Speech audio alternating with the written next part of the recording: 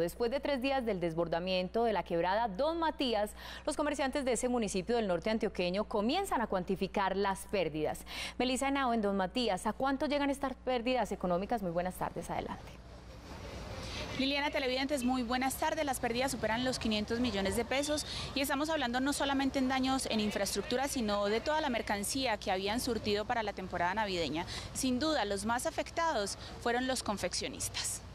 Por estos días retumba una frase en Don Matías. Tragedias grandes son para los pueblos grandes. Y es que aunque las pérdidas fueron millonarias... Más o menos 9, 8 9 millones de pesos, porque eh, el viernes precisamente había surtido. Más o menos en solo productos por ahí 80 millones, fuera de los daños de los equipos. El empleo se acabó, 6 a 7 millones de pesos. Porque se me, pero eso que más vale, una registradora, una grabadora y ya todo lo otro, pues juguetería, ropa, medias, mucha cosita.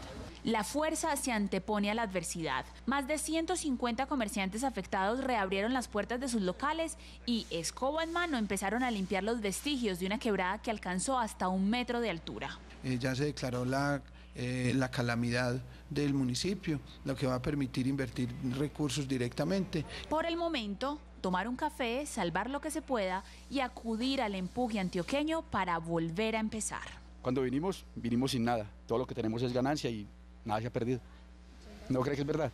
El alcalde del municipio tiene programada para la semana entrante una reunión con el Ministerio de Comercio para ver si pueden hacer algún tipo de créditos blandos o alguna ayuda para los comerciantes que resultaron afectados. Es la información que registramos desde el municipio de Don Matías. Para ahora 13 Noticias, cubrimiento total. Melissa, gracias.